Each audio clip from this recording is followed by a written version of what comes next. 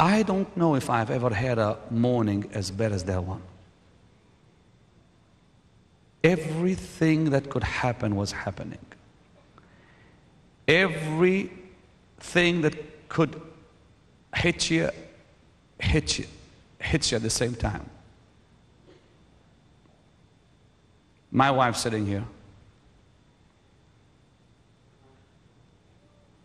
grew up in a strong Christian home. On both sides of the family, the grandparents worked with Smith Wigglesworth. Smith used to stay in her grandfather's home. Her grandma worked with Smith Wigglesworth. Comes from a wealthy heritage. That girl grew up with a surrounding was wealthy. A year and a half ago, right in the midst of that horrible experience we've had, that just things just did not stop. I woke up at night with my wife choking in bed. The devil was trying to kill her. Could not breathe. It was so painful to see that young lady. I've been married to now almost 20 years. To see her attacked like that in our bedroom. I got up and ran, got my Jessica, who hated God and hated me for serving him. said, Come, baby, quickly. Something's happened to your mom. I didn't know who else to call. Was nobody else. Not a preacher. Not a Christian friend. In fear they may tell somebody about it and stab you in the back with it. I called on my daughter, the only person I could trust, even though her Christian life was uh, almost zero. At least she was mine. At least it's family. She comes running in. I said, honey, pray with me. Rather than praying, she was screaming rather than having a positive effect on her, it had a negative effect. Now she hated God even more for letting the devil attack her mother.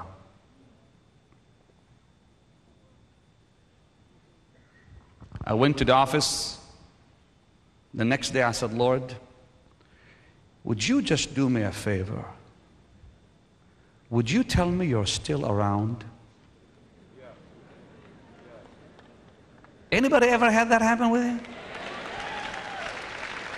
Now, now I know people think it cannot happen to Benny Hinn. You're wrong. The more you serve God, the more you'll be attacked. But if you will just keep your eyes on Him, He'll bring you out of it. And when you come out, you'll be stronger than when you came in.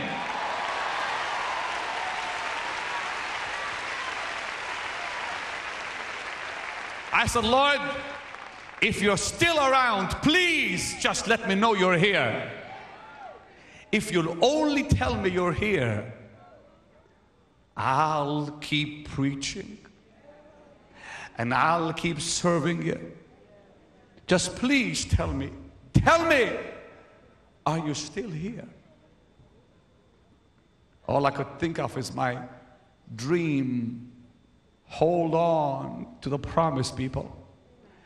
I saw the dream I had when I was young with the angel showing me the multitudes. And my heart was torn. I said, Oh God, I know I cannot walk away from it. And I thought about Oral Roberts sitting me down in Chicago. It's been at least six, seven years ago.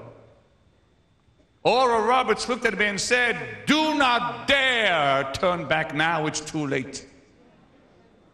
Oral looked at me and said, There was, there was a time in your life you could have turned away and said, I don't want this. It's too late. He said, You walk away now. His own words were, God will kill you. I never thought God would kill anybody till I heard Oral Roberts say, He'll kill you. I said, Doc, wait a minute. God would not kill me. He said, Benny, listen to me. He said, You've experienced too much glory to walk away from that. He said, You walk away from the, from the things you know, He will kill you.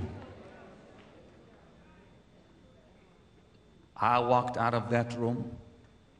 I knew I heard God talk through Oral Roberts. I did not understand it. I could not understand why God would kill me if I walked away from this.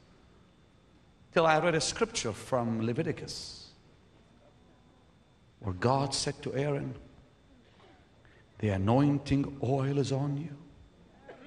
If you walk out of the tabernacle, you'll die. Never walk away from the anointing God placed on your life. Never. No matter, no matter how low you get.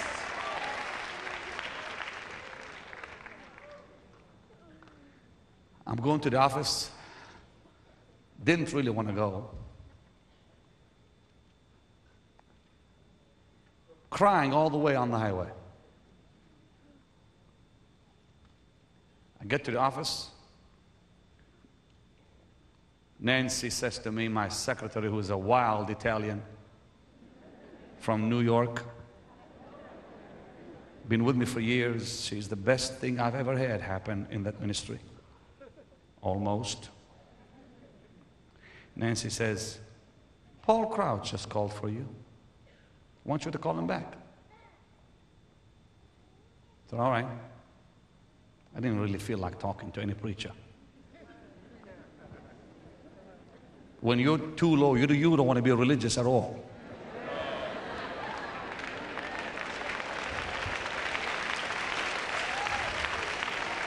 When you're that low, you don't care to talk to preachers. But Paul is my friend, and I loved him, always have, and always will. I called Paul. But before I talked to Paul, I called the special office number that I knew, that, that, that I have, his private number, and a girl answered. Now, usually I, will I'll talk to his personal secretary, but this time another girl answered.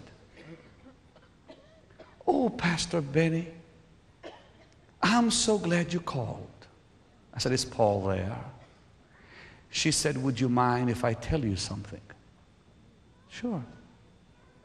God woke me up this morning and gave me a word for you. Said, Yeah, he did?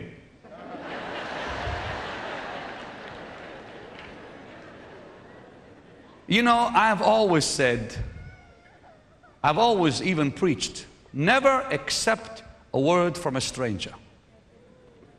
That morning I was so low, I was ready to accept a word from a dog. I, I, I was ready for anybody to give me a word. I didn't care who it was anymore. May I give you a word? I said, Oh, yeah, sure, please. Well, if you don't mind, she said, I got to go to the other line because I put it on my computer. I said, Please. She goes, picks up the, other, the, uh, the next line, and I hear her do some things, and then she starts to read it. I couldn't believe it. The first thing she said, the Lord says to you, Benny, how is it that you question, Am I still there?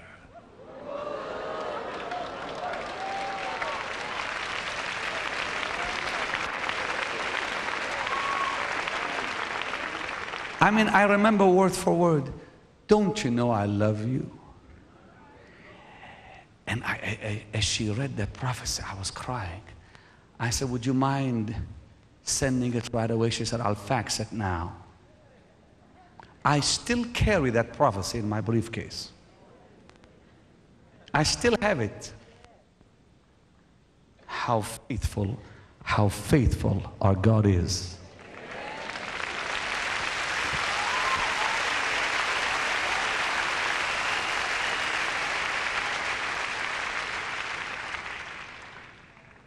Now we look back. I see a mighty change that took place in my wife. I'm going to tell you something, preachers. Please hear me, all you even watching on television. Be careful who is around your wife. When God begins to use you, the devil likes to send nice people to be your wife's friends. Watch those friends. When my wife looked at me one day and she said, Benny, I need you. I said, Get these friends, these crazy friends, away from you. You know, the Word of God says one sinner destroys much good. It doesn't take more than one. I said, number two, Sue, we're moving to California because I cannot stand Orlando, Florida. It's got too many bugs, flies, ants. I just don't like it. I never have liked it.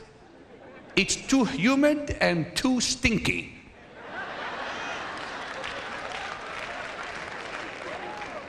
You can go visit Mickey Mouse, I'll let you. So she said, Why? I said, I just don't like this city. And then I said, The Lord tells me to tell you, honey, unless we move out of here, we will lose our children. She didn't believe it. She said, Well, you tell God to talk to me. Okay, I will. It's a deal. A woman walks up to her, a lady that she respects in the spirit. A year ago, I guess it was, somewhere there. Said, Suzanne, God tells me to tell you, you got to move to California. Get out of Orlando now. If you don't, you will lose your Jessica. And I think she said a little more than that. God talked to her. We move in three weeks.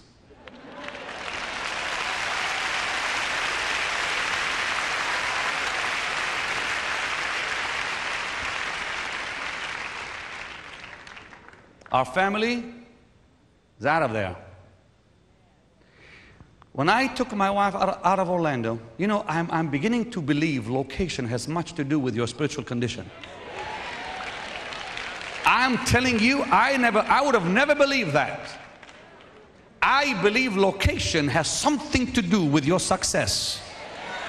Now I know why Jesus moved to Galilee, didn't go somewhere down in the south, or stayed in Nazareth. I have nothing against Orlando, really.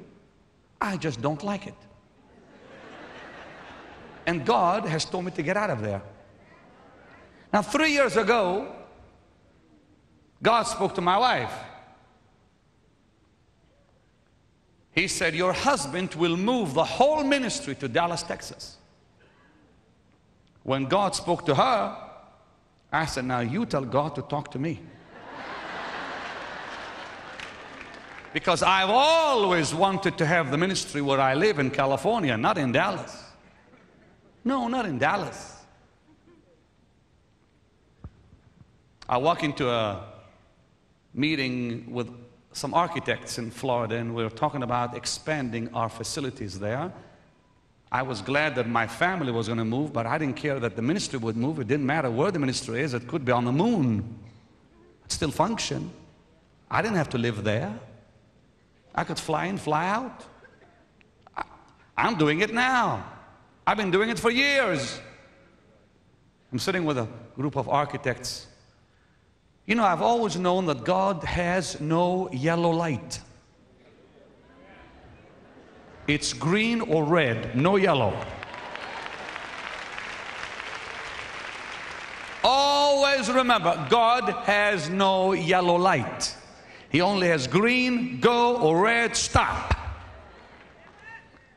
Suddenly, I was told by these architects and other people that I could not grow where I was. Everything we tried, the door was shut in our face. One thing led to another. We began looking at different things that we could do to just expand. No way. Everything before us was negative, red lights everywhere you looked. I said, Lord, what are you telling me now? You know, God speaks through realities. Every time God speaks to you, it's real. It's not maybe, is this God? Mm, let me pray about it. It's clear. I'm going to understand? Put your hand where high. It's clear.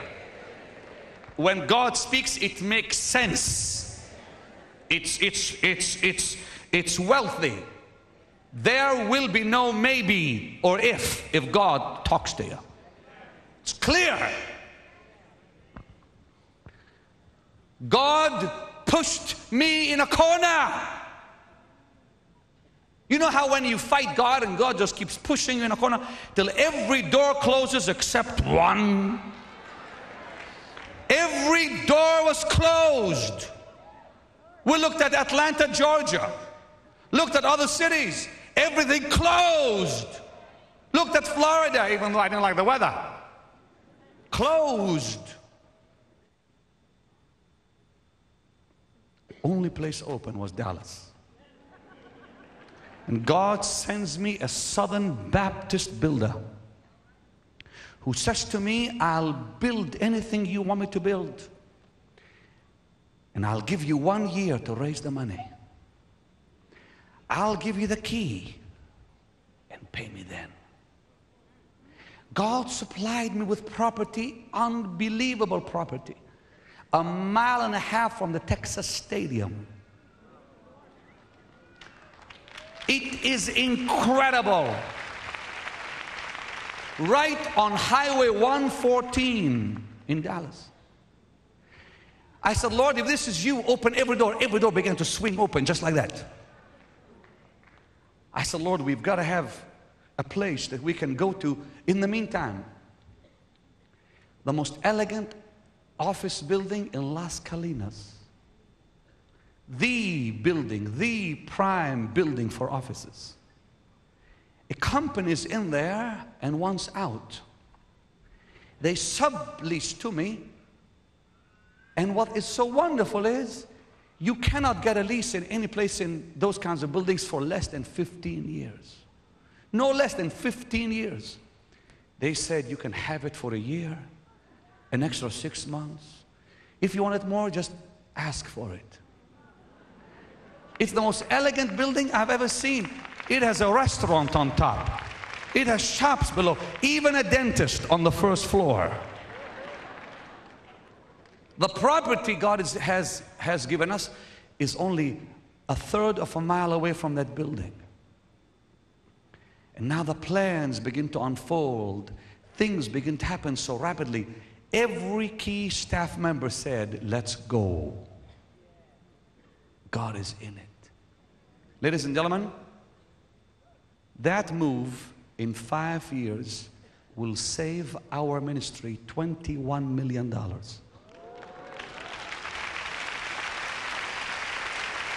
Staying where, staying where we are, staying where we are would cost us more. Location not only blesses you spiritually, it'll bless you financially. Now, I'm saying all this to say this. I saw my wife resurrected from the dead. I saw my family come alive. I saw my children. I am now seeing a ministry almost reborn. All the while, you know what I used to escape to? I'd escape under the anointing. During those three years of pain, under that anointing, I was in heaven. You know what I'm talking about? There is nothing more precious than the anointing. I'm sure your pastor has had days while to church, the pressure was great, but when that anointing came on him, everything changed. Now, I can't close what I'm telling you here without saying this. God Almighty brings all of us through mountaintops and valleys for one purpose to accomplish His plan. We have nothing to do with the anointing. But every, every experience, every experience makes you more pliable in His hands. You know, during the, these three years or so, God, in fact, brought growth, blessings untold. The ministry grew not only with, with crowds, our income grew four times. Four, it jumped four times. And finally, one day in, in prayer, it all hit me. Now listen. When I was at my lowest point, the ministry was at, it, at its highest. And the Lord said, Now, are you convinced it's not your ministry?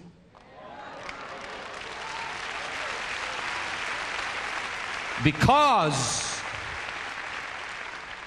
we believe, sadly, that our ministries ride on our success. Mm-mm. We ride on the ministry's success. As God anoints it and God uses it, I'll never forget Jamie Buckingham saying years ago God doesn't just anoint men, he anoints ministries. And whenever that ministry is presented, even on film or tape, that anointing will be there. God anoints a ministry. But God has brought some wonderful people to us to help us. Along the way, in the last 25 years, this December will mark 25 years. I've been preaching the gospel.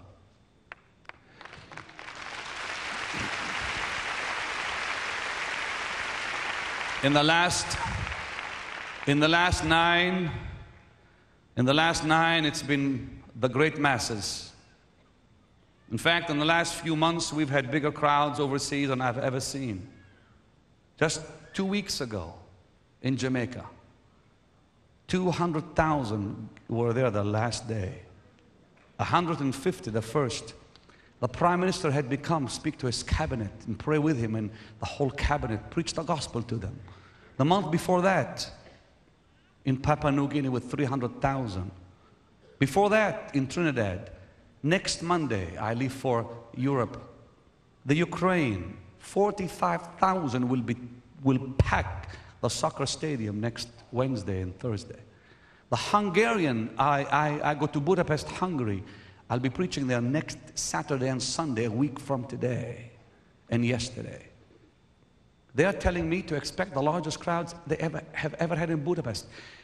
The, look, the Hungarian national airline is putting pamphlets on the seats promoting that crusade. Now, ladies and gentlemen, I'm, I'm going to tell you something. It's not my ministry.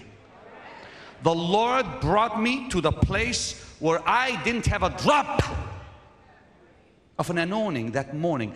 I was so low, I didn't think even God was near me. Yet I'd walk behind the pulpit. not I'd say, Lord, why isn't there that anointing where I am over there? Till the Lord said, Because it's not yours. It's not your ministry. I looked at, looked at my wife a few days ago. We were watching one of the programs, just last week, in fact. We're both getting blessed watching. I said, You know, honey, we have nothing to do with that. The day we think we do, we're through. And just maybe, just maybe, the Lord allowed all that to happen to give us a warning, to tell us one more time it's not yours. It's not yours.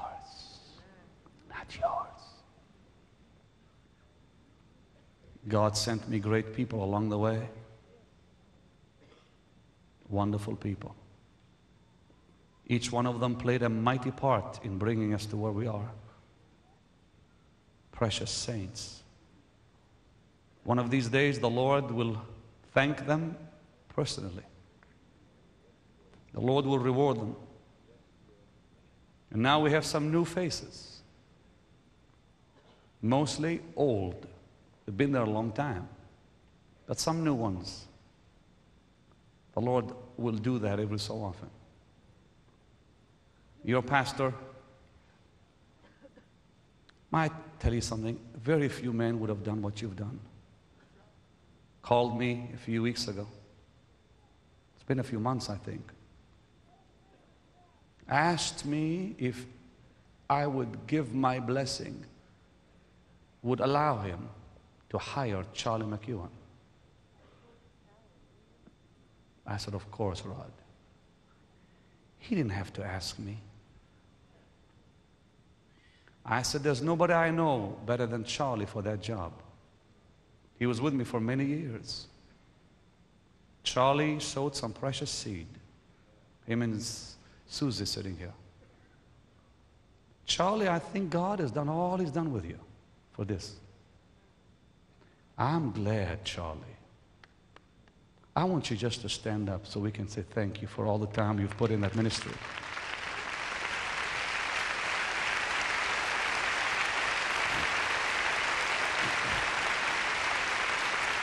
And now for you to be for you to be with Rod, nothing makes me happier. I mean that. He picked me up at the airport tonight. I said, I want Charlie to pick me up, nobody else. You know why? Really, he's still in the ministry with me. Because we're all in the same vineyard, just in different sections of it.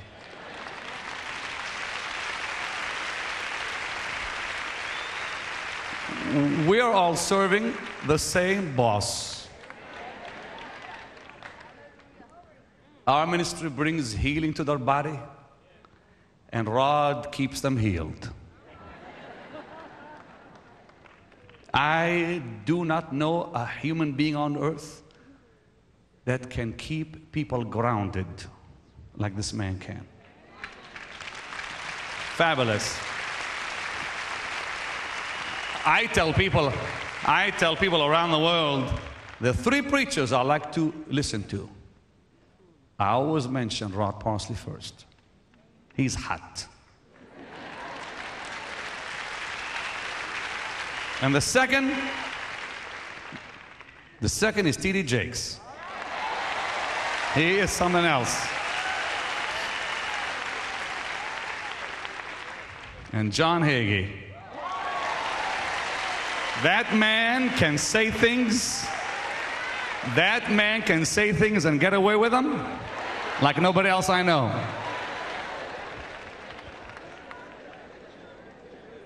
See, these men feed my spirit. Now, I'm telling you all this to tell you. The same Holy Spirit that called me so long ago. And by His amazing eternal mercy, is still using me. Somebody said, Why? He's got so many faults. If I was God, I- I'd fire him. You know what I said? I'm glad they're not God.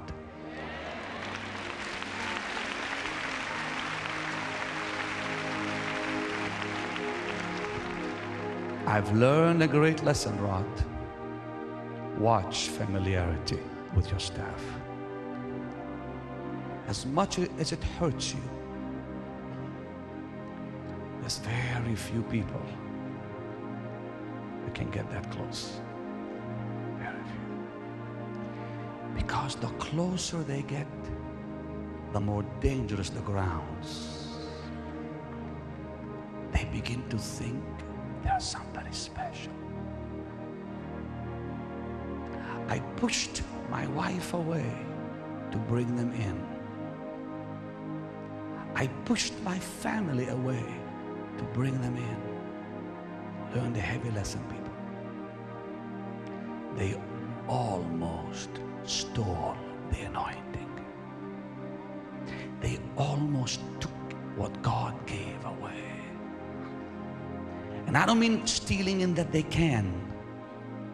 They nearly drained me of everything in me.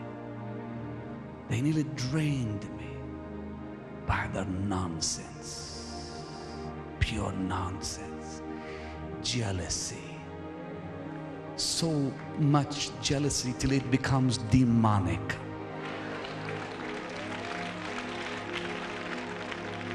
It's very few you can depend on.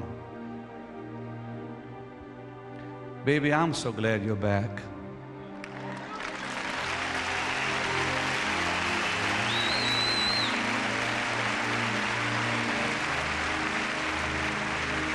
You know, when I started the ministry, it was just she and I.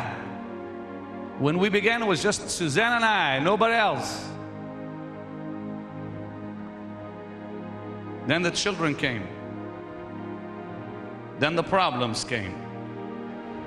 And then the, some devils came. Almost lost my life because she didn't want to do anything with the ministry. But just a few months ago, she came to me and she said, I'm ready now.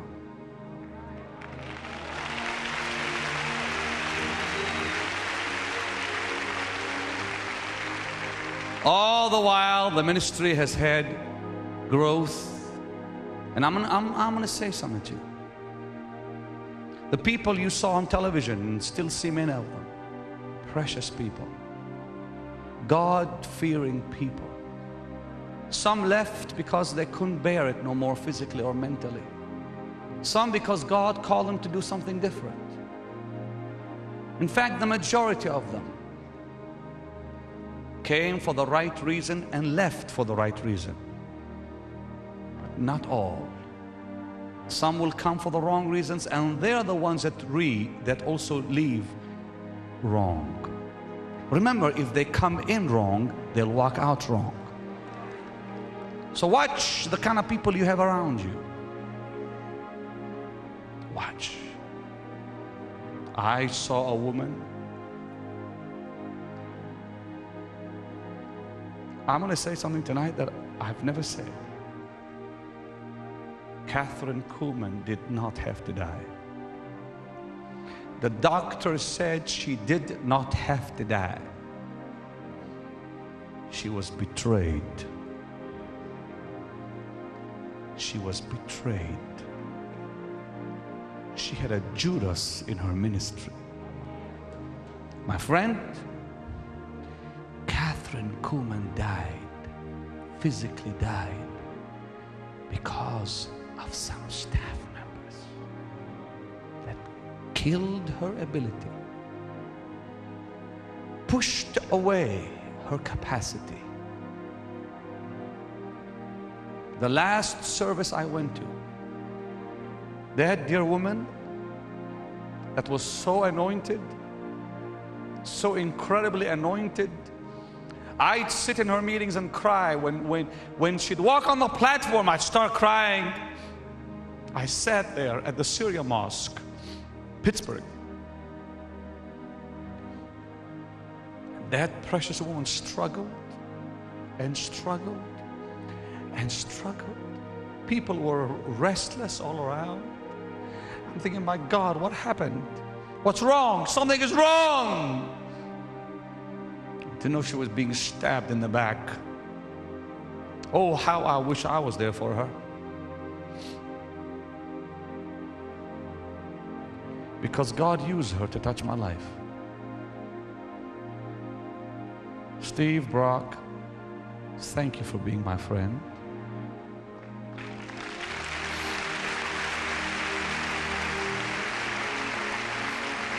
But I tell you,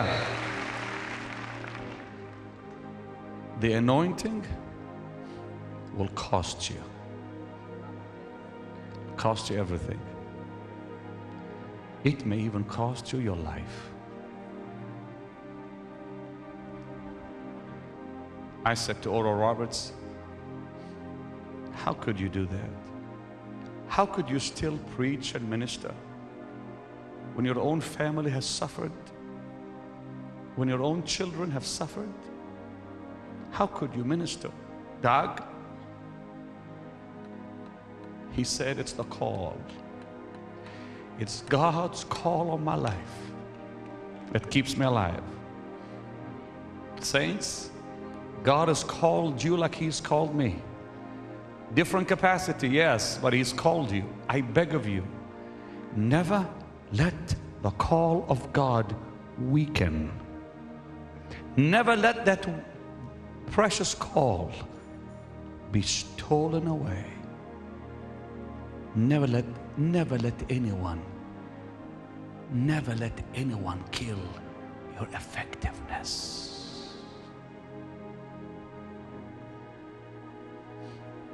Master, thank you. Thank you for the privilege. Thank you for the privilege. Lift your hands and thank Him for the privilege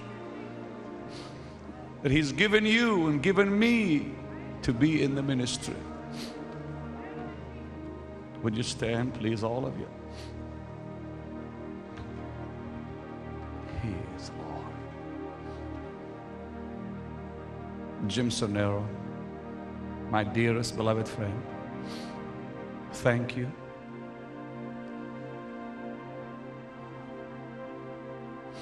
Thanks for sticking with me.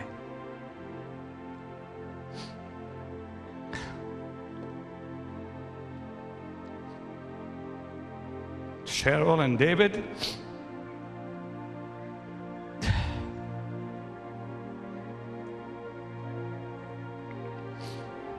Ah. Only God knows.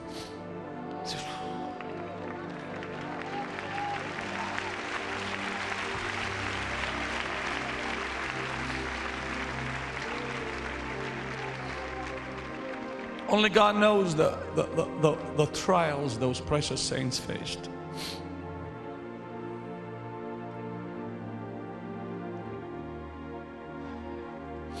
Only God knows what they have to go through. As recently as a few days ago. But she sits here playing tonight. Not because she loves Benny Hinn. She loves the God I serve.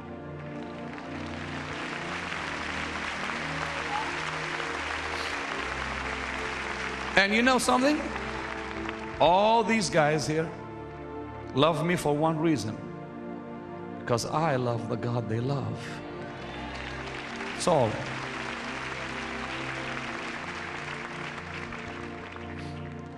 Come here, Steve Brock. Take a microphone. He is Lord.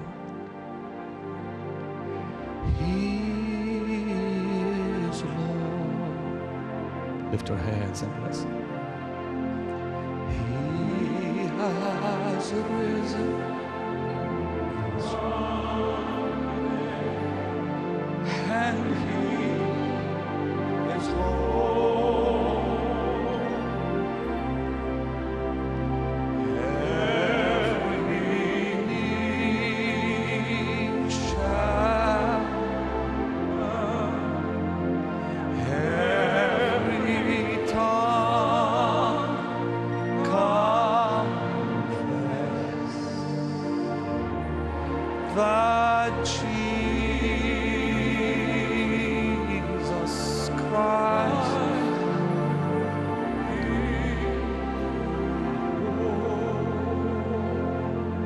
Ladies and gentlemen,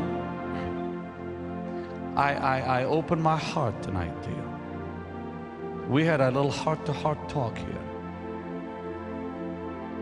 You see, nothing is more precious than the call of God on a life. Nothing. People come, people go. But the call never goes,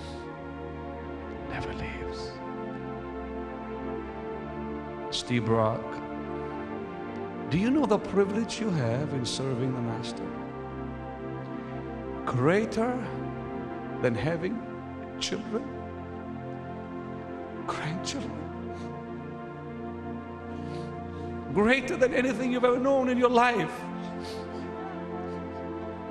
Even your grandchildren, one of these days, will grow and not be there.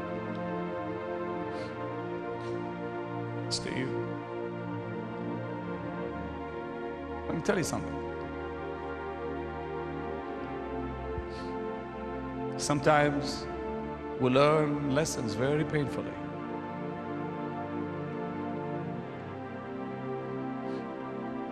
I know a preacher lived years ago whose family left him. There were no grandchildren at his funeral. No brothers or sisters. Because you see, some of them were dead and others didn't care. But he knew the one he served.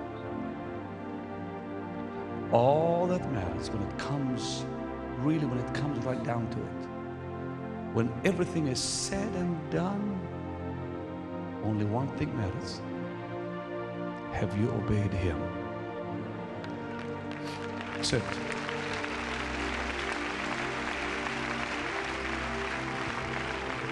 One of these days, Mr. Brock,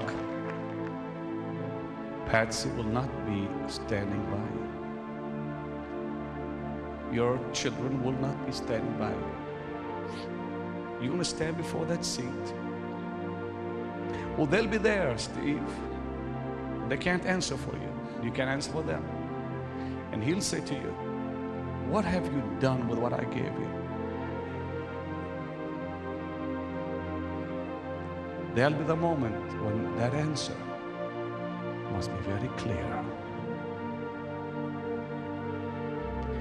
The most important thing in your life, saints, is this Have you obeyed the Lord? Is He number one in your life? Lift your hands and ask Him to anoint you again so you can keep going. Without His anointing, we can't do it.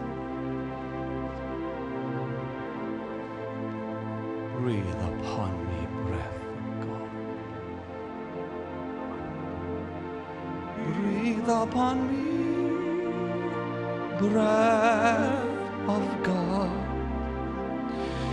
Breathe upon me, Spirit of the Lord. As I lift my hands and surrender to your name,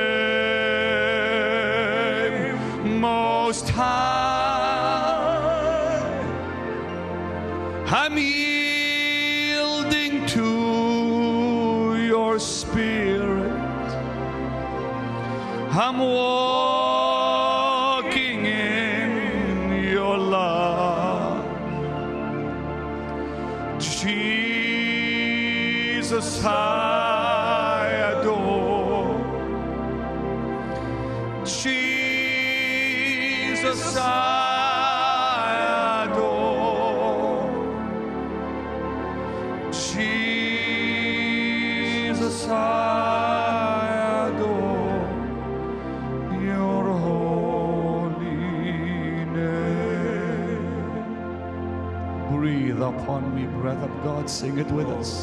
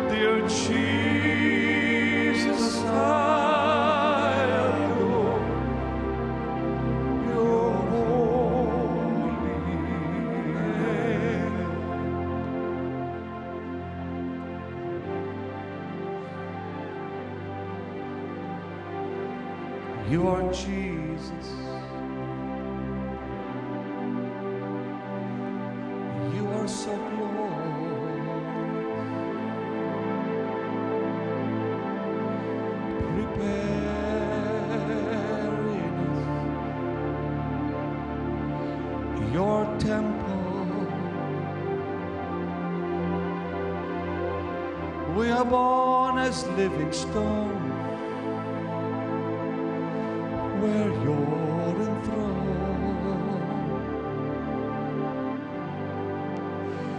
And as you rose from death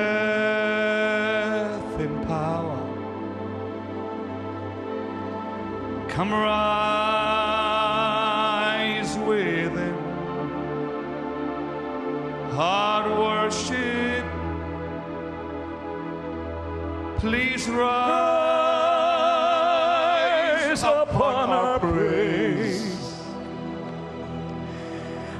the hand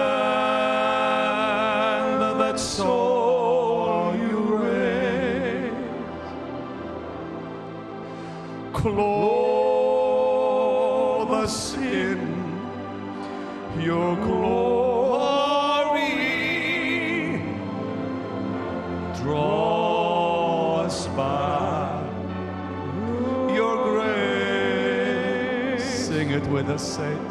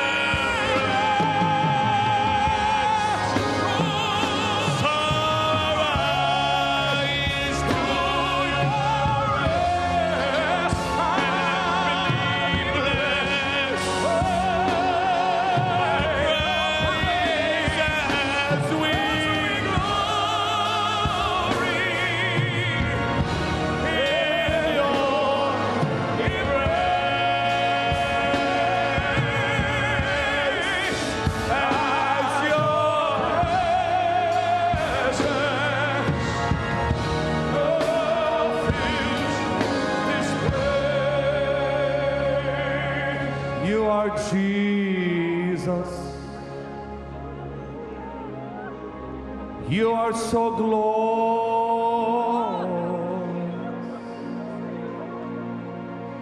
Come preparing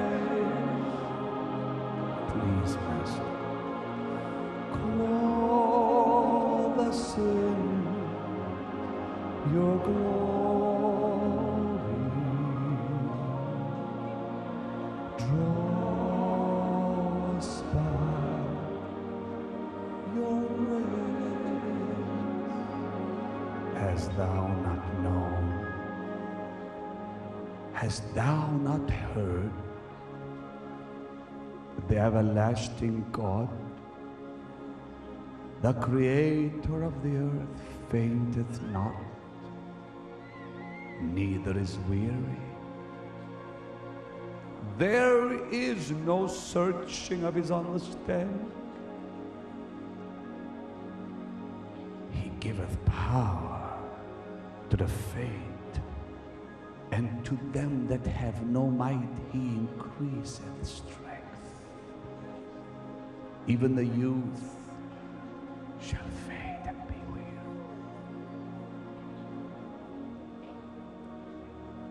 And the young men shall utterly fall. But they that wait upon the Lord shall renew their strength. They shall mount up with wings as eagles. They shall run and not be weary. They shall walk and not faint. That's the key. That's the key. Just so simple is the key. When all around you is black, when all around you is stormy, when all around you is chaos, there is a place of perfect rest. There is a place of quietness. There is a place of perfect peace. His presence. Hallelujah.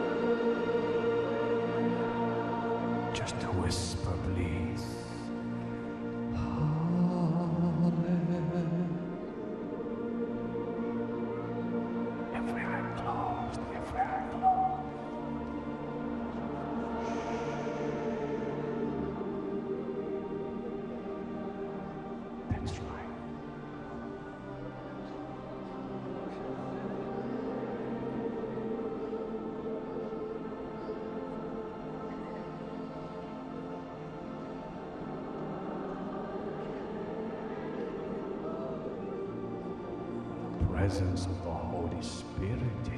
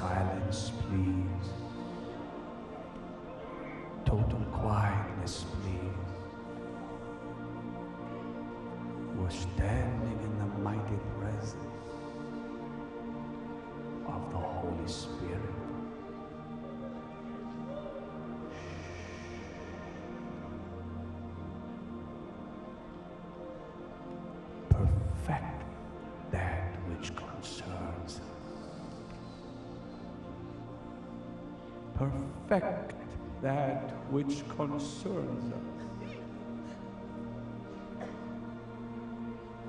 We're all unworthy vessels,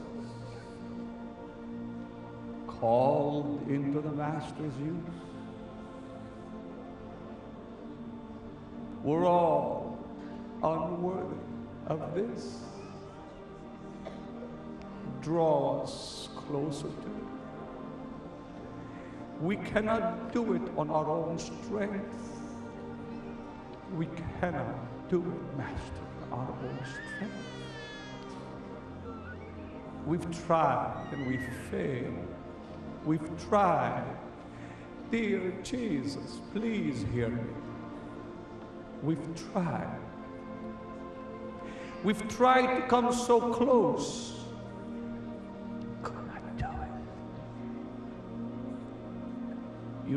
Holy. So very holy. And we're so filthy. Who are we?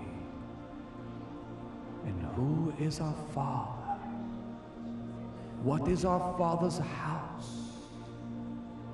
That we should be allowed in your mighty presence. You have made that available. Yet tonight I ask you, draw us to yourself. We've tried on our own and we have failed. Bring us in. Draw us just a little closer. And away, please, Master, please. Take us away from ourselves, away from the world we live in. How we hunger,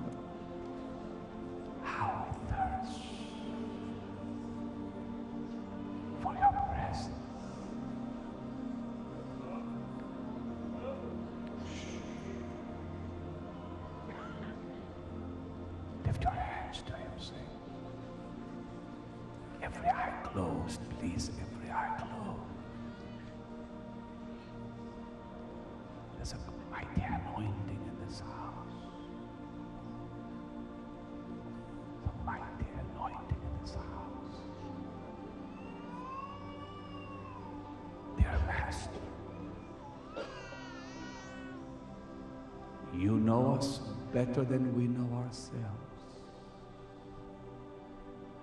You know our ups and our downs. You know our thoughts are far off, yet you accept us as we are. Men will say whatever they may say.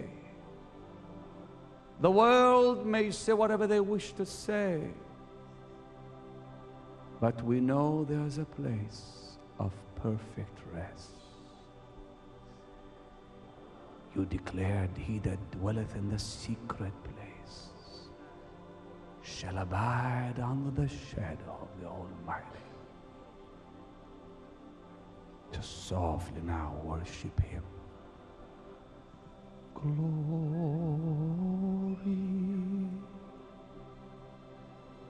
Glory.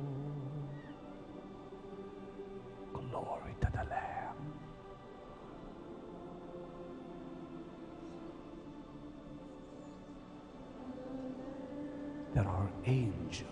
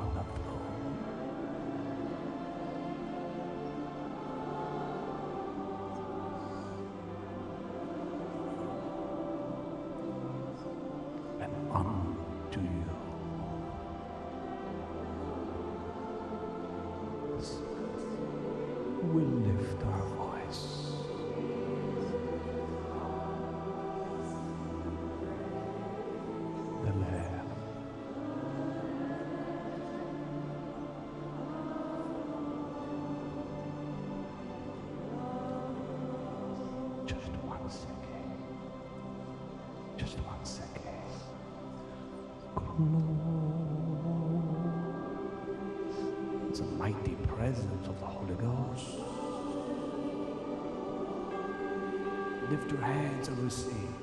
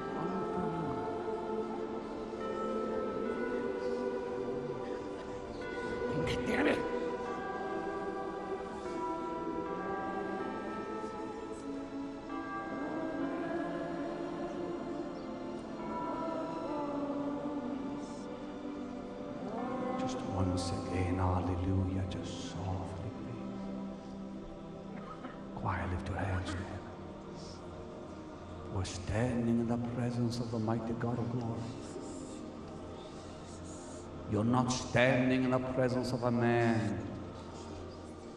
The invisible force, the Holy Spirit is here. Lift your hands to Him, saints of the Most High.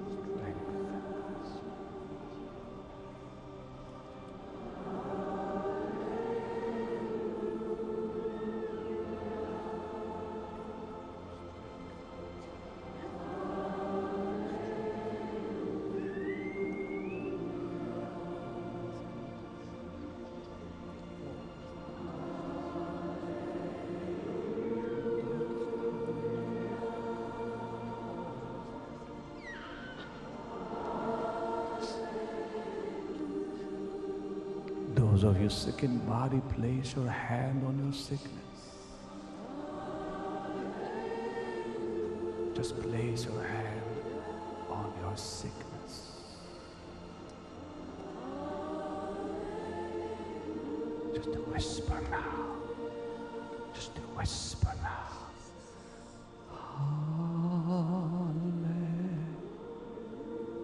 I command every sickness in this place to go. I command the spirit of infirmity to go. Heal your people, Master. I lift my hand in faith, believing for them. Heal your people. Thy healing virtue will flow through them is my prayer. That every sickness and every disease shall flee before thy presence is my prayer. I rebuke that demon of infirmity in Jesus' name now. Go. Go out of this place. Go. In Jesus' name, go.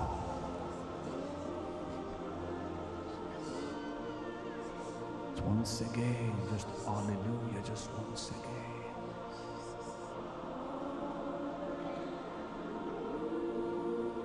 Somebody's ears have just been healed. I give you praise, Jesus.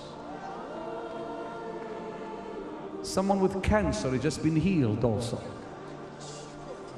Quickly, people of God, lift your hands, receive your healing. Arthritis has just been healed to my right. I give you praise, Jesus. Diabetes has just been healed in the back. I give you praise, Jesus.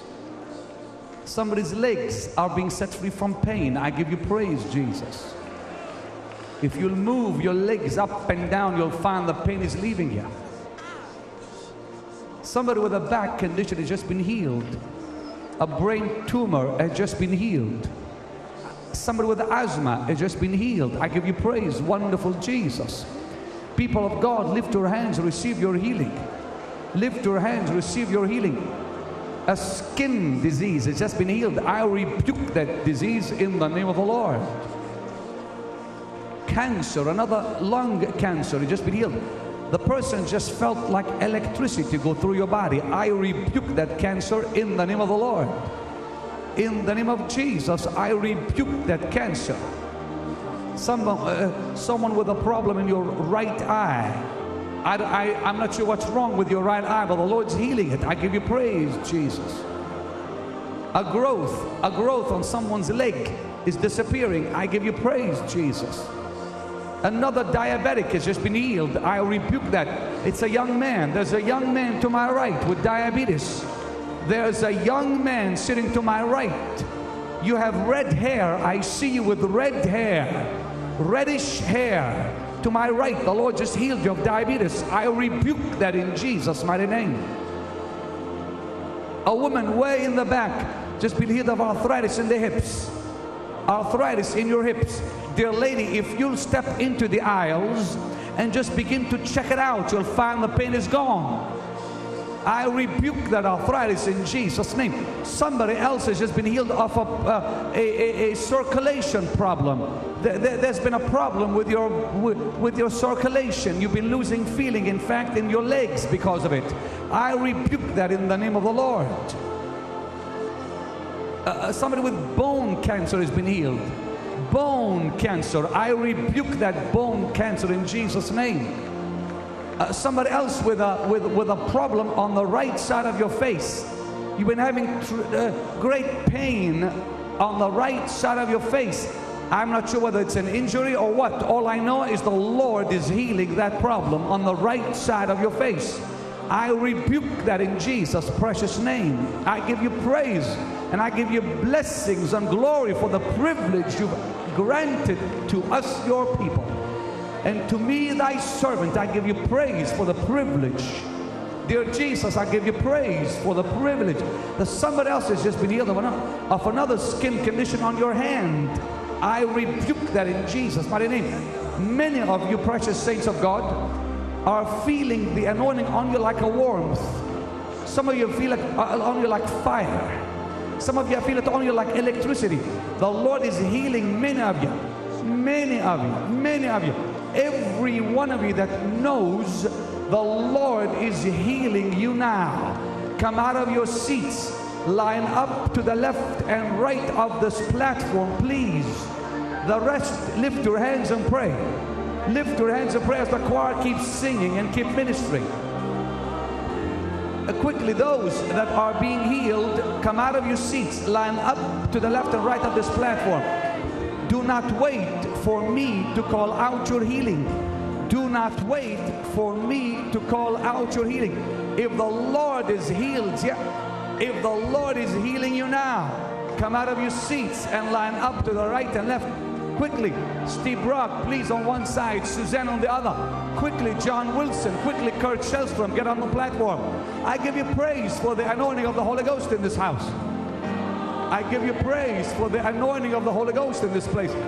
Just marvelous things are happening.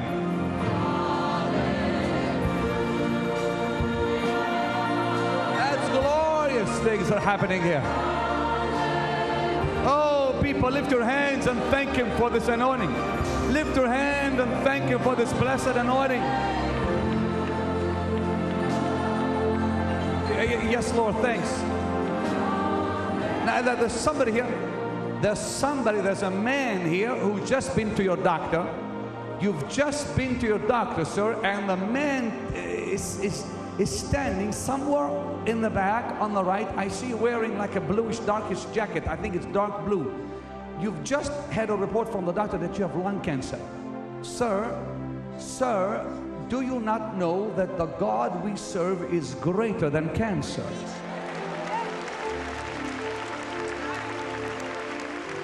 You've come here tonight. You've come here tonight so discouraged, so discouraged, believing the doctor was right. Yes, my friend, the cancer is there. But the God who heals will remove it from will remove it from your body if you ask him. Sir, ask him now. Ask him. Choir, just please sing it real softly behind me. Oh Lord my God. When I in awesome. Suzanne, what happened to the lady? She had dermatitis since she was 17 years old. She, she was itching on the back, and the power of God came on her. The itching is totally gone tonight. And what was wrong with her? Dermatitis, skin problems since she was 17 years of age. You've had it since you've been 17? Yeah, seborrheic dermatitis, and it comes and goes, and when it clears up, my skin gets a rash, And my How do you know you're healed? How do you know you're healed? Well, I, when we were praying, I just prayed for deliverance of it once and for all. And then you called it out somebody with a skin condition was healed. And I said, God, I receive it. And then I noticed the back of my scalp stopped itching because it was starting to hurt. Because what it does is it burns and it hurts. I'm so grateful, lady. I'm so grateful. Six months, Pastor, this dear lady has been suffering. Take your seats. For six months, this dear lady has been suffering in her back struggling with the pain even all during the service. She said tonight the power of God came on her and all of that pain left her body.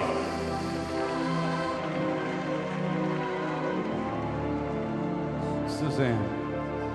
Hip fracture, knee fracture. She's been in pain for two years. Tonight, the power of God came on her and the, totally free from pain A tonight. fracture in the knee, honey? In the knee and her hip. The hip, the knee, for two years, was in constant pain, and the pain has totally left her tonight. It, it's totally gone now. It's gone now. I just had spent eight weeks flat from the knee fracture.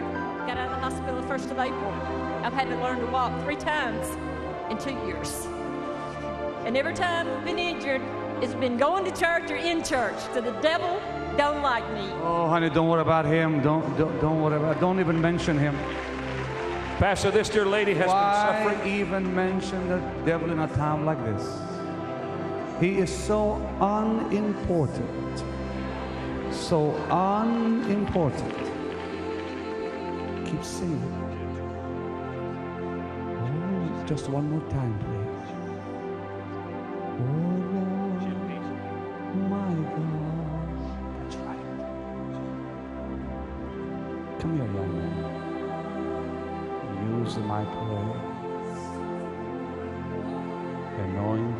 I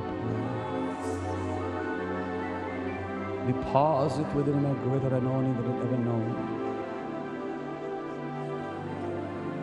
Oh, oh, that anointing here is so marvelous here tonight.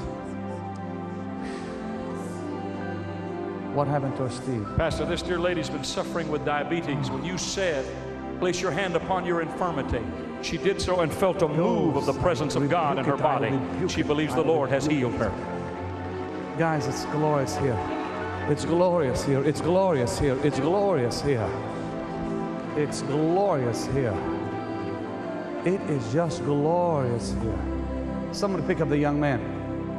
Somebody pick, pick up the young man. My friend, God Almighty is telling me to tell you this. Because you've been faithful, He's put you where you are. But much more is coming your way. Greater things, greater responsibility. And with that responsibility will come a great anointing on you. But never take it lightly. The awesome responsibility sending your way is glorious, has great benefits, great rewards. Prepare yourself. The Lord is going to increase your capacity. Grant it, Father, I pray, in Jesus' name. A greater capacity to receive a greater dimension for thy name's sake. Suzanne. Benny, this woman came to camp meeting from Tennessee, Pastor Rod, had two heart blockages, couldn't breathe for a whole year. Tonight, the power of God's come on her and she can breathe freely. Fabulous. Thank God for it, sweetheart. Isn't Jesus so wonderful? Yes, he is. He's wonderful. And what was wrong with you? One more time, please. I had two heart blockages and one valve leaking, and I have I'm a diabetic. I had high blood, and you name it, I had it. But I felt like the Lord took it all down from head down tonight. Thanks. Thanks. Thanks. Take your seats, quiet. Take your seat. I just want to praise you. And if you know the songs, play with them. You musicians here. Steve Brock. Pastor, this dear lady has been suffering 22 years with arthritis. She said the power of God came upon her. She's also had asthma, was in the hospital last week because of the asthma. But she said all of the pain has gone out of her body. She's been reaching down, touching her toes, taking deep breaths, giving praise and adoration to God because God is in Columbus, Ohio, and God has healed this lady tonight. That's glorious, isn't it? Praise the Lord. I just love you, Jesus. What happened tonight? I felt like a ball of fire inside my stomach went up to my up to my chest, and then it ran down my arms and legs. Isn't that glorious? Said something about arthritis in the back, and then a lady with hip arthritis in the Right. hip step out. Well, that was me. Okay, pick it up. The pain is all gone. Yes. Praise the Lord. That's right. Thanks for the anointing. I pray she'll go back home and be a witness. Oh, dear Jesus, thank you. Yes, Suzanne. She had cancer all over her body for 12 years. Cancer. Was in pain, felt the warmth go through her body, and the pain has left it tonight. The pain is gone. Where was the cancer? Huh? They told me uh, two years ago I wouldn't live six months. I have family against But where was the cancer? all over my body. And I rebuke that in the name of Jesus. I rebuke it.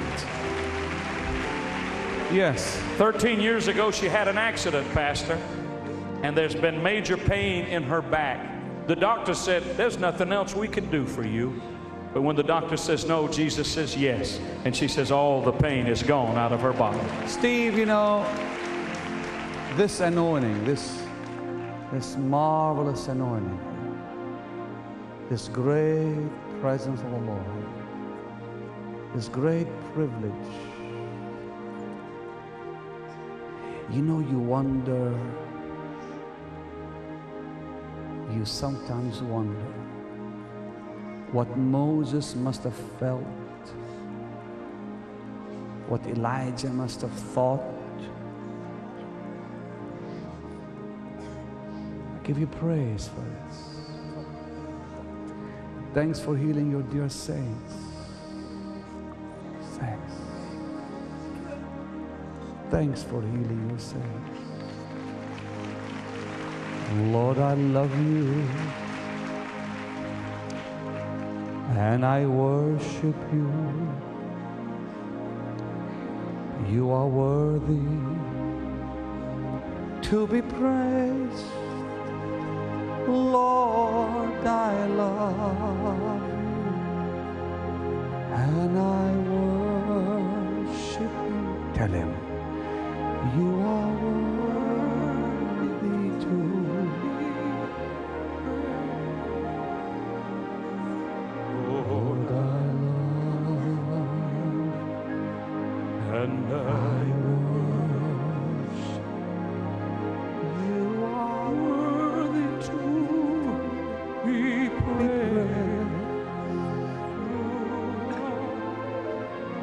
Arthritis in her lower back and her legs for three years, could not walk up and down the stairs. She can walk up and down the stairs now and free from pain for the first time in three years. The arthritis is gone. The pain is all gone. How long have you been living with that? About three years. That's a long time for anybody. Seven muscle spasms. It's all gone. I felt it. Felt the no- it's tickling all down through my body. And as it went, it's just like it healed. Move your legs and do what you could not do before, lady.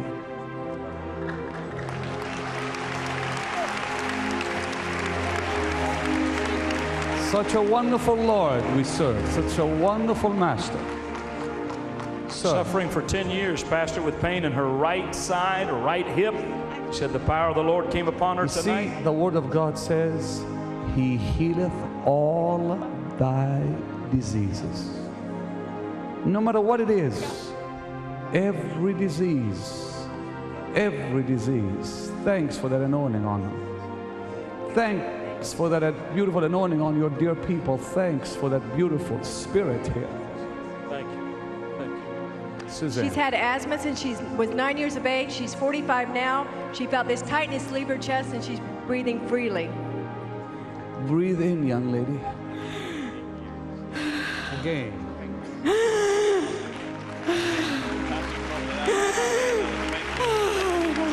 Isn't that so wonderful? Oh, Jesus. You suffered with asthma how long? Since I was nine years old. Oh, Jesus. I had chest pains. Just felt the tightness just leave out of my chest. I just felt a warmth come over me. And it just went down to my feet, and I knew that God had touched my body. I've been praying for my husband to be touched. And God touched my body, and I know that God is going to touch my husband. Oh, Jesus. Jesus, your presence makes me whole. Got to understand something here. I heard Kathryn Kuhlman years ago say, God is not looking for golden vessels. He's not looking for silver vessels. He's looking for yielded vessels. Do you understand why it is God heals his people? Do you really know? Do you know the incredible wealth that comes upon these saints like this woman? The wealth of the anointing that drove out the asthma from her body. There's such glory on her face laying there. Such glory on this woman. She's experiencing what Paul experienced on the road to Damascus. But the wonderful thing is, somebody had to say, I'll go. Somebody had to say, I'll serve you till the day I die. Somebody had to say, Lord, I'm willing. When I heard Kathryn Kuhlman long ago say he's not looking for golden vessels, silver vessels, only yielded vessels. Talked about how when God chose her, freckled face, red hair, amazingly used to stutter. She said to him, She said, I can give you nothing but my love. I have nothing to give you, Lord, but my love. That's why God used her, Steve. All He's looking for is somebody to say, Lord, take it all. Why don't you do that? Lift your hands and tell Him that. Take it all, Lord.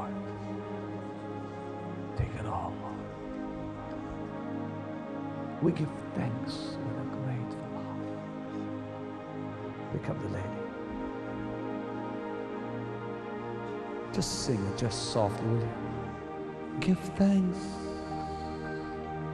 with a grateful heart. Liver cancer, Pastor, felt the power of God come upon her tonight, laid her hand on the area, felt heat flow through her body. I said, How do you know you're healed? She said, I felt heat flow through me. I know the Lord has touched me tonight.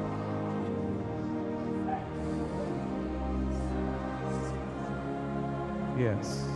When you called out diabetes, he put his hands on his pancreas, felt a jolt go through his body, and believes the Lord's Diabetes. touched him tonight. I rebuke that with a grateful heart. Bronchitis, Pastor, she's been suffering greatly. Felt the touch of the Lord tonight.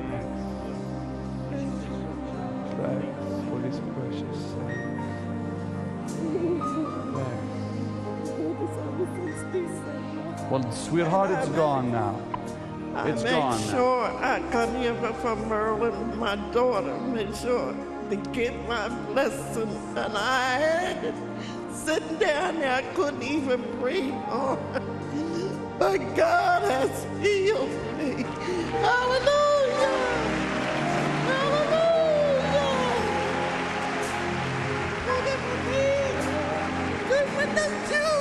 Is the wha- wha- tell me, tell me again. Pardon? yes. I'm sorry, I didn't hear you. Say that again. My feet swelled up. Couldn't get my shoes on. Uh, but I don't. And how about now? Now I can get my shoes on. Look, it's going down across. Good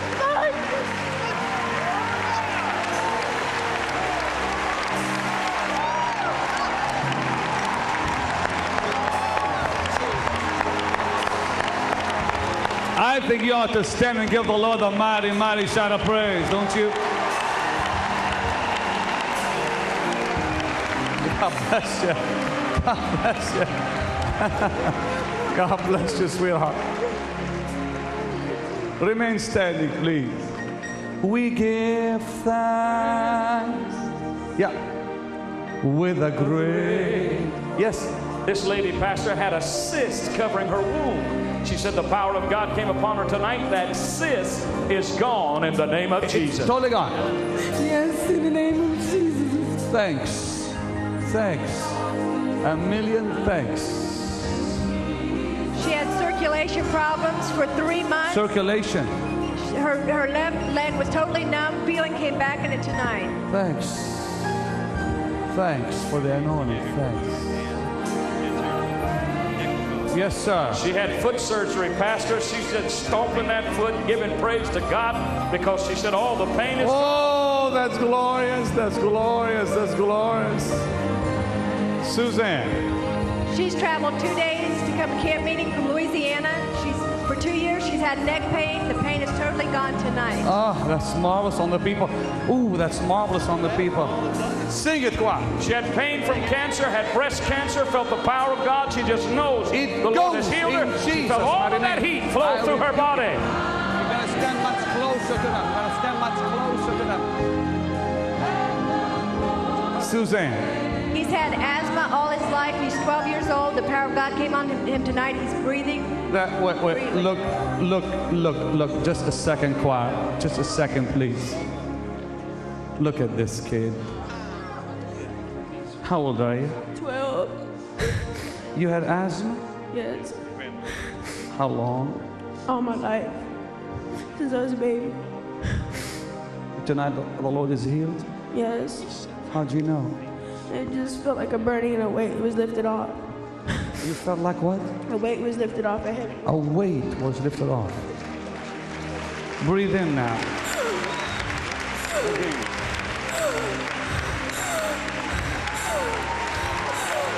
Could you could you run before? Could you run before that? yes. W- It just feels great. But but when you ran before, w- would would you lose your breath? Yes, it felt tight. Okay, let's try out. Come on. Run all the way and back three times. Go.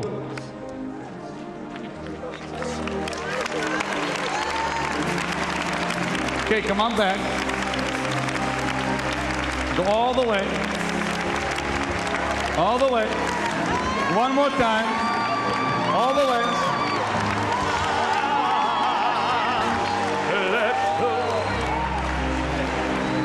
Back, back again. Come on back. Come here. On the platform. You feel good? Yes. Breathe in now again. Mama, he'll never has have asthma again.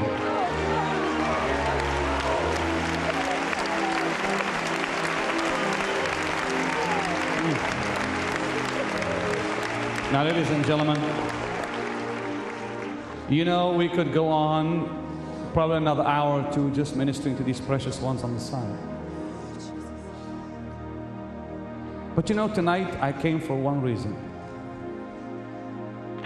I came to tell you that the same God who has anointed me in spite of me,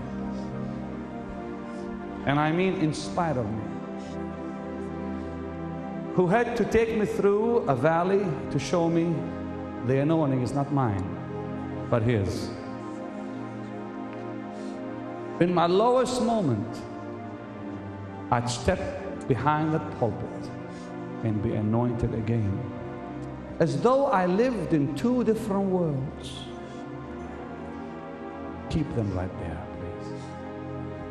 I'd step into the world of the anointing and I was the Benny Hinn I like to be.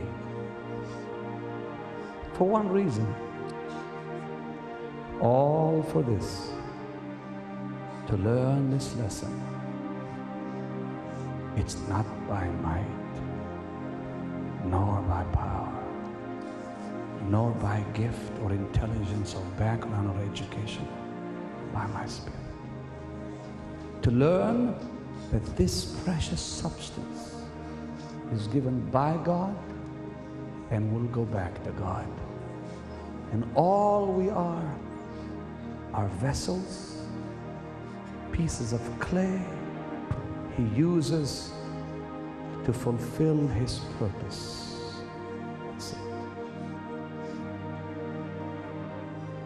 Tonight, there's a lot of you here that feel like God has forgotten you. Or you may even feel like you've missed his plan for your life. Never.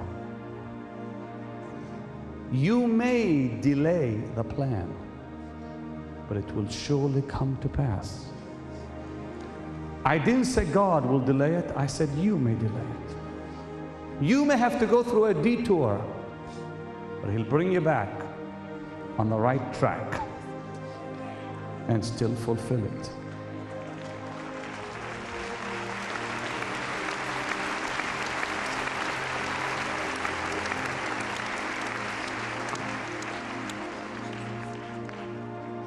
It's a lot of men and women who've gone in circles, detour after detour, looking for that perfect place.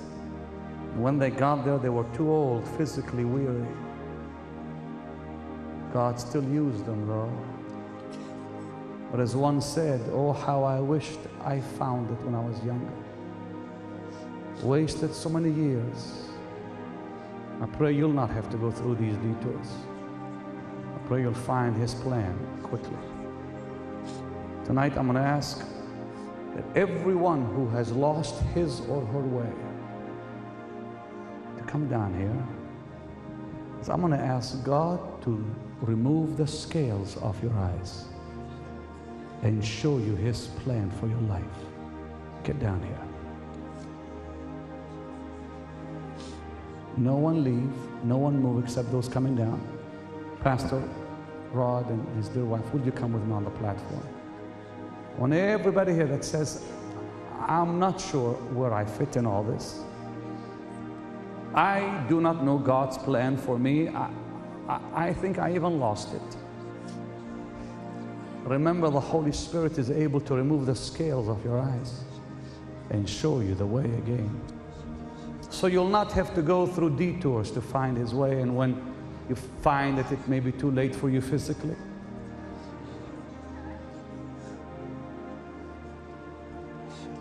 all to Jesus I surrender.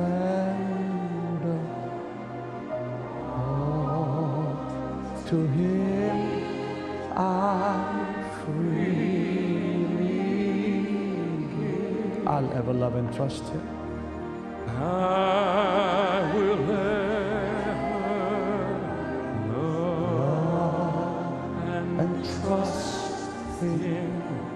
In His presence daily.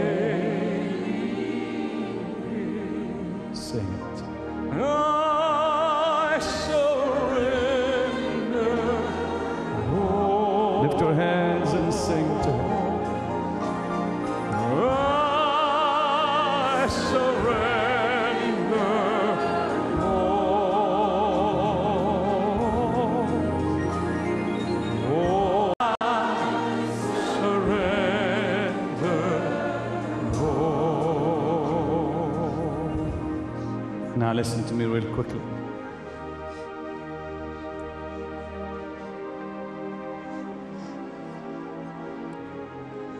There's a scripture.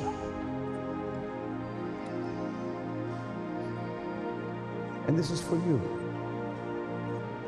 And that's what I'm going to ask God to do.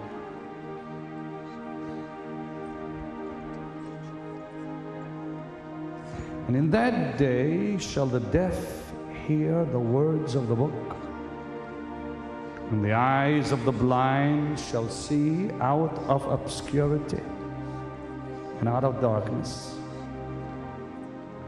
The meek also shall increase their joy in the Lord, and the poor among men shall rejoice in the Holy One of Israel.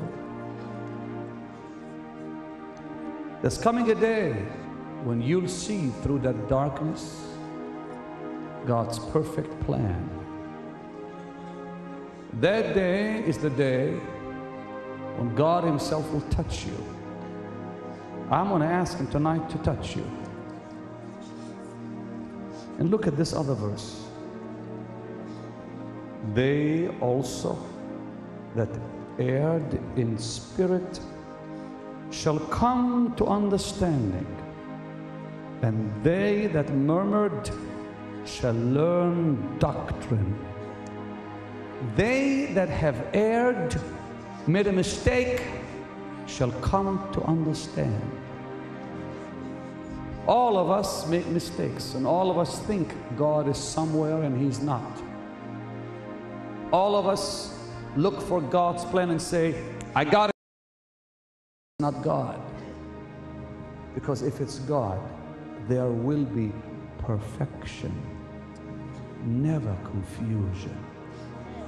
Never, never confusion. Perfection Everything is just right when God is in it. But you see, on your own, you cannot find it. I'll tell you now, bluntly. I did not have to go through those years of pain. I could have escaped those years. Looking back, I'm glad I went through it.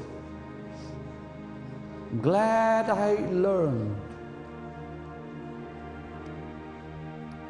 God sent me a man named Winston Nunes, great statesman in the faith. He passed away a few months ago.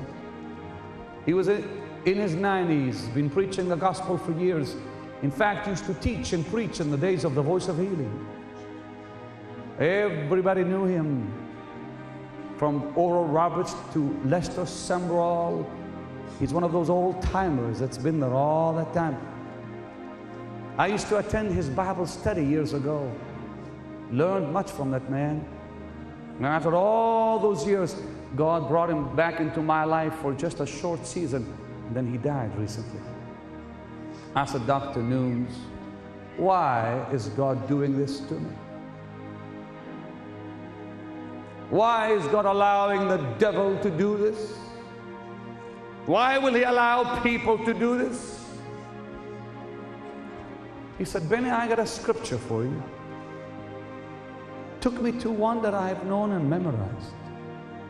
If my people who are called by my name shall humble themselves and pray, I'll hear from heaven, I'll forgive their sin, I'll heal their land. He said, Have you ever read the verse before that, Benny? I have, but never paid attention. And the verse says, If I bring the locust, if I cause the disasters on the land, than if my people. He said, You know something? You know that when it's bad, it's people. When it's wicked, it's the devil. When it doesn't make sense, it's God.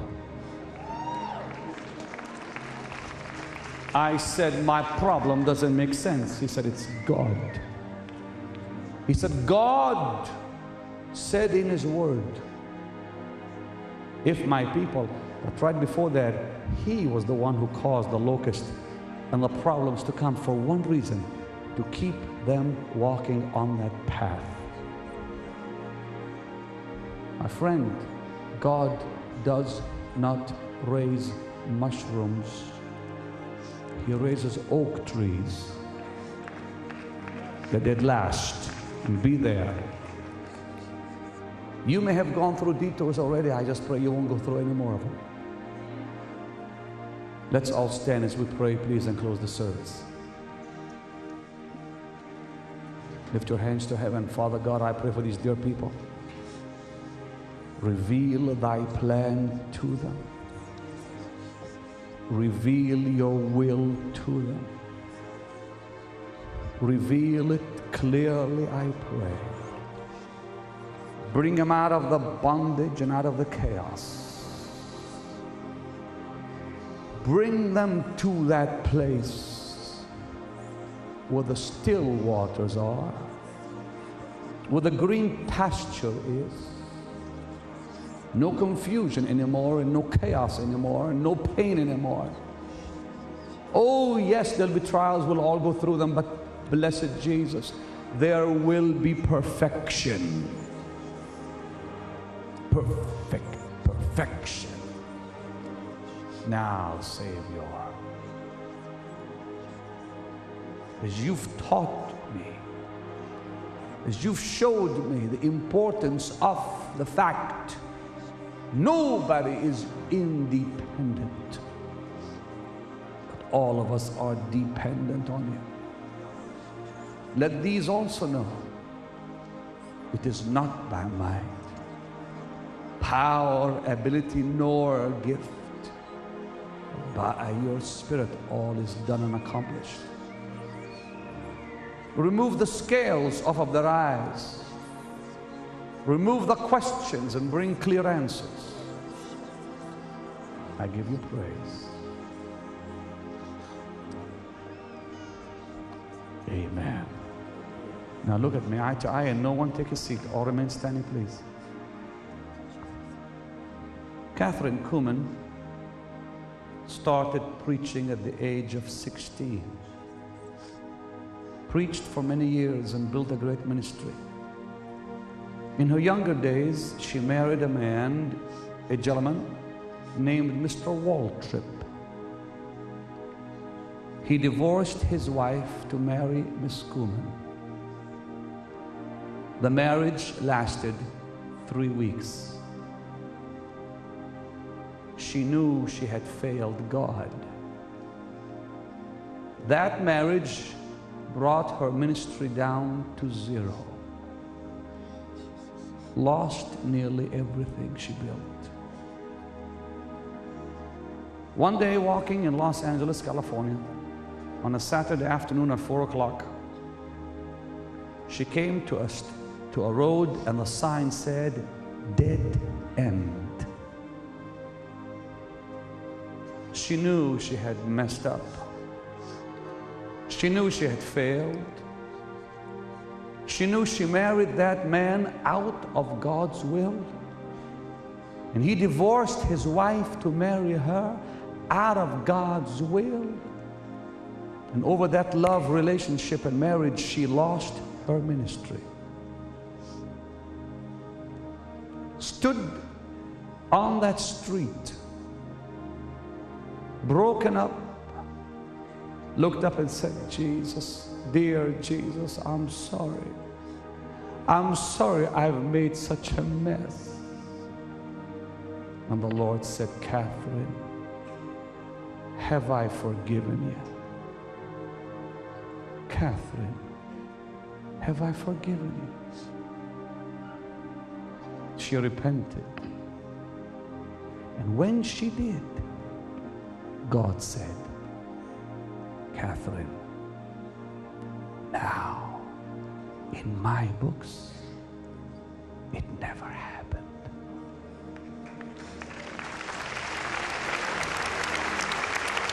Now listen. God said it never happened. She turned around, walked back to never discuss that for the rest of her life. Began to preach again, and a, lady walked up to her and said, How can you preach? You're a divorced woman. Miss Kuhlman, just like that, said, Oh no, you don't understand. That Kathryn died.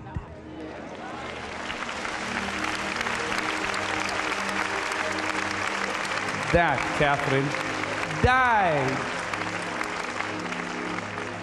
The reason I know the story is because I would hear Kathryn in her meetings, as some of you have heard her say, I died a long time ago.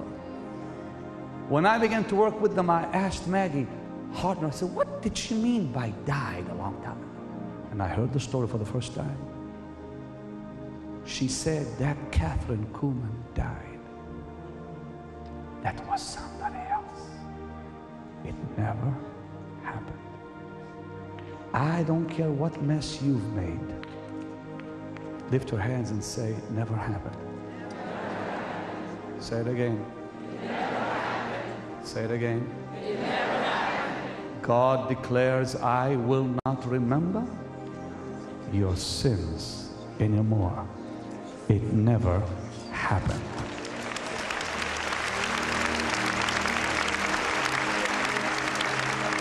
Now, ladies and gentlemen, as you remain standing, your pastor gave me a message through one of your staff that you want to take an offering. Dearest Rod, I don't, I have not come for that. In fact, I have a little report for you. Driving in here tonight, I asked Charlie, I see you have construction out there, building a school, I or something. I, I, I have not heard anything yet. fully. Well, the Lord, just as I came out of the car, said to me, He said, Within the next few months, I want you to give this man $100,000. You'll receive that check from our ministry.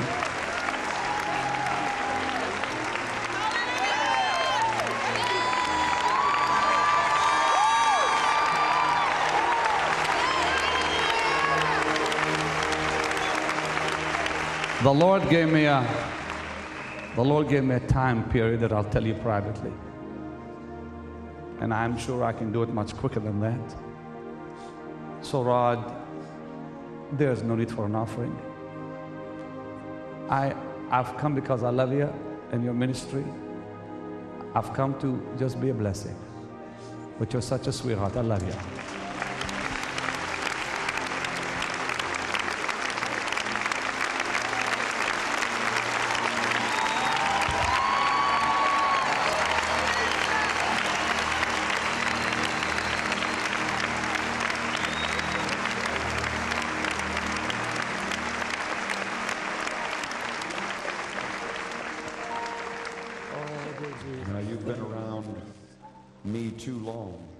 Nobody moving, nobody moving. That's the whole reason.